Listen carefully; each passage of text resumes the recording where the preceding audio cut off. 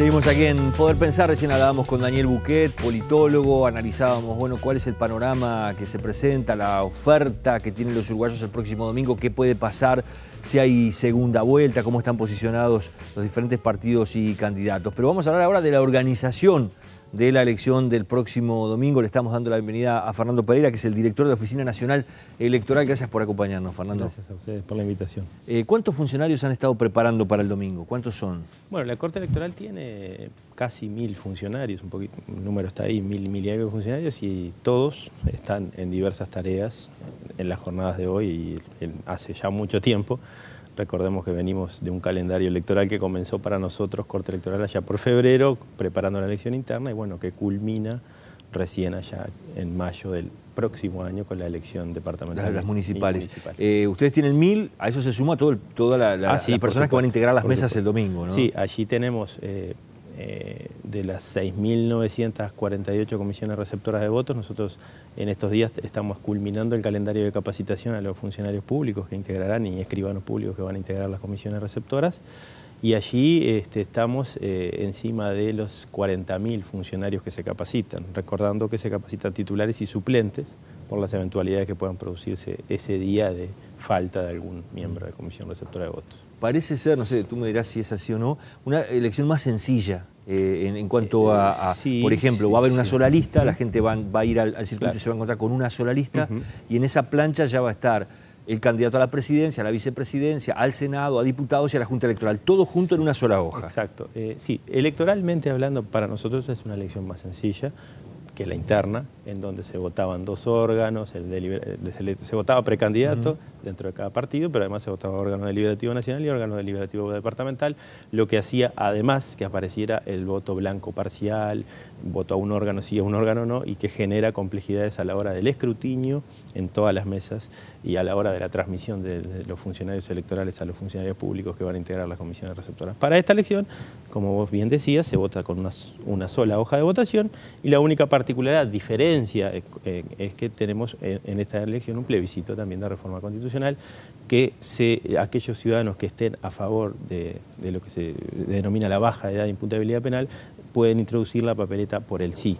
Los que no están a favor de este plebiscito no introducen nada más que la hoja de votación que de, su preferencia. Ha existido mucha polémica en estas horas, sobre todo porque bueno, una denuncia que hizo el Frente Amplio sobre boletas truchas, ¿no? que no, deberían existir por el no al plebiscito, cuando en realidad, como tú decías, quien no quiera acompañar el plebiscito simplemente no, no mete la hoja del sí, esa papeleta blanca.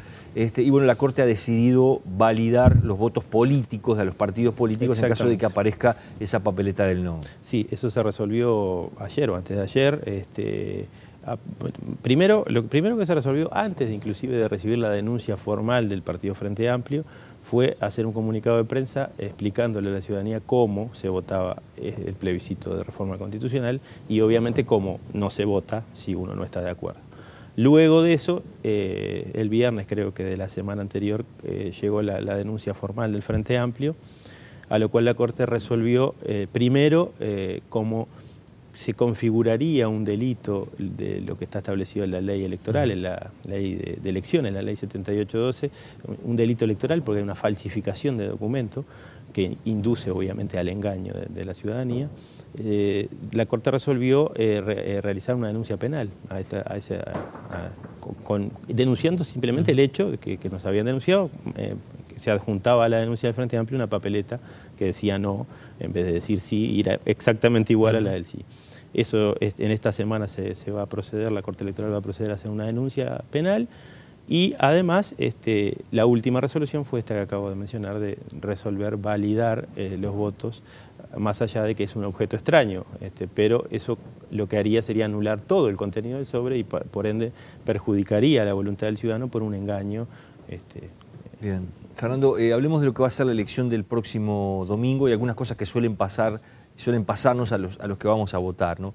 Hay mucha gente que, bueno, cada cinco años eh, sale a buscar su credencial desesperadamente y no aparece por ninguna parte y la sigue buscando. Bueno, ahí está bueno aclarar si esta vez se puede también, recordando el número de serie y el número de la credencial, uno puede votar aunque no la tenga. Sí, bueno, estos días las, consultas telefónicas en la Corte Electoral, inclusive físicas de la gente que va a la Corte, son, son esta básicamente. Eh, sí se puede dar la situación de uno votar si recuerda su número, serie y número de credencial, pero cuidado que debe estar en el padrón de habilitados o en el cuaderno de hojas electorales. Si no está, en esta elección particularmente, la, ley prevé que no puede votar. Si no, si no lleva credencial y no está en el... que estar el duplicado de la eh, credencial ahí en la mesa. el legajo, y en el legajo, que es el cuaderno de hojas electorales, que es exactamente el facsímil del documento, y si no está en el padrón, si no está en alguno de esos dos este, elementos no puede votar. ¿La persona tiene que llevar la cédula de cualquier forma? No, no es necesario.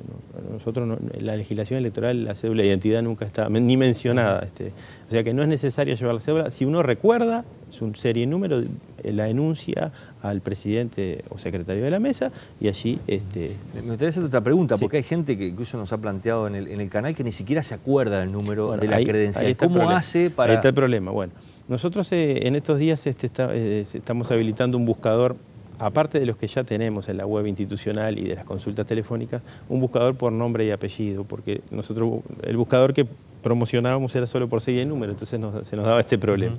Este, estamos habilitando en la web de la Corte Electoral en estos días, creo que hoy va a quedar ya online, un buscador por nombre y apellido. Allí uno se busca y solamente sale si está habilitado, esa es otra de las consideraciones importantes.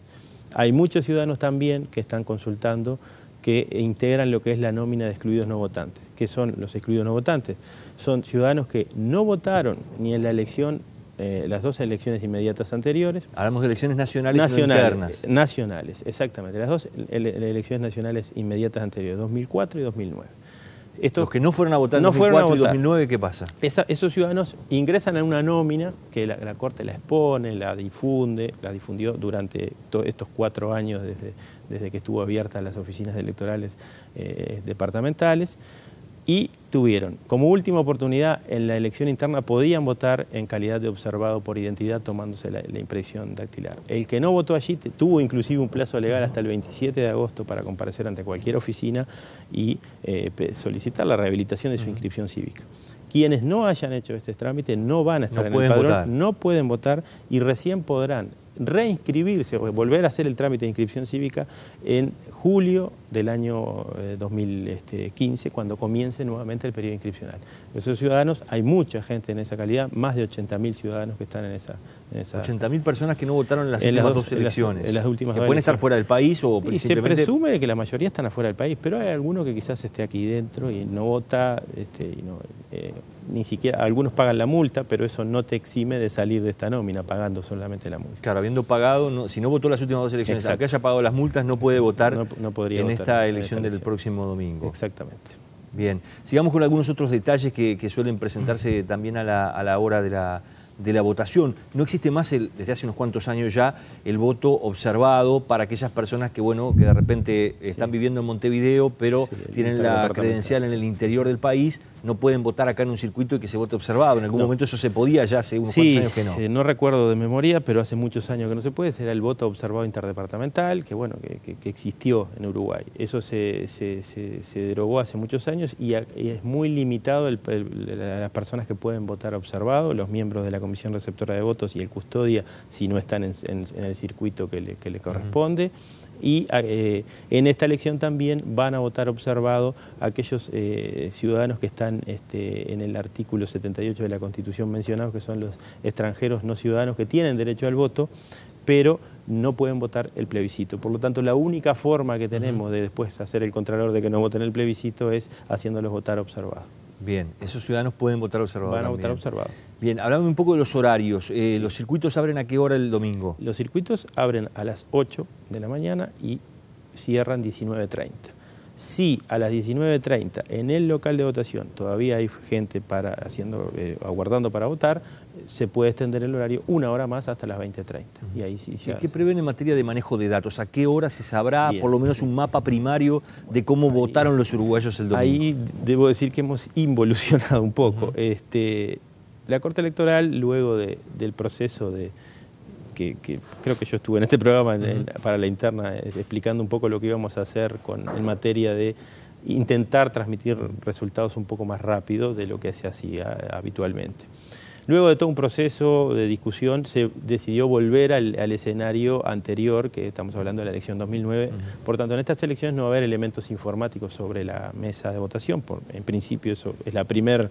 Este, no van a estar las ceibalitas en, los, circuitos. Eh, ni tampoco, por lo tanto, va a haber una transmisión rápida de resultados desde la propia comisión receptora de votos. Sí va a haber lo que se hacía eh, tradicionalmente antes, que es luego de cerrada la, la, eh, realizado el escrutinio por la comisión receptora de votos, se trasladan a, alguna, a una dependencia de la Corte y allí en un sobre se, introduce la copia de acta de escrutinio y eso va a un centro de digitación de la Corte con funcionarios electorales que tenemos 34 centros de estos a lo largo y ancho del país, y allí lo que se va a hacer es digitar en un sistema informático el resultado eh, del contenido de las actas.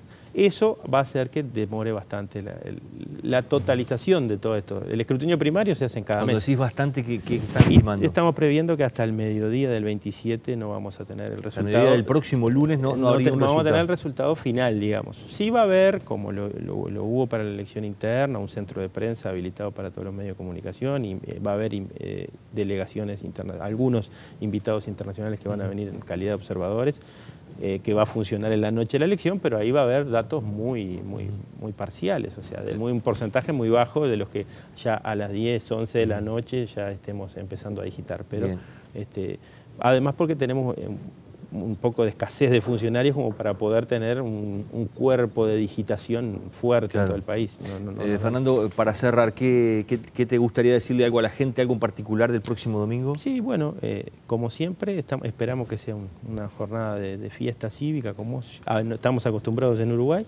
Le recomiendo a la ciudadanía ir con la hoja de votación este, que, de su preferencia. Eso te lo pregunté, o sea, ¿quién está obligado a poner las, las hojas de votación para el domingo en los, circuitos? Eh, nosotros, eh, hace unos años se aprobó una ley que la Corte Electoral debe remitir eh, un número de hojas por circuito, pero son solo 30 hojas por comisión receptora de voto y son solamente de aquellas agrupaciones políticas que hicieron el trámite desde el 6 al, 10 al 13 de octubre tuvimos abierto una posibilidad de hacer ese trámite, o sea, traer sobres para cada comisión receptora de votos. Hojas. hojas. sí, con las hojas de votos. Vienen en un sobre 30 hojas por comisión receptora de votos. Pero no todas las agrupaciones llegan por un tema de problemas de imprenta, por problemas de operativos y logísticos, no todas llegan. Por lo tanto, esas agrupaciones, la única posibilidad que tienen de, llevar que la hoja el día de la votación. que el día de la votación un delegado partidario comparezca ante la comisión receptora de voto y, presente la hoja y, luego la reponga, que ese es el otro problema. Son 30 nada más. De repente con 30 este, en algún momento del día se, se, se, puedan, terminar.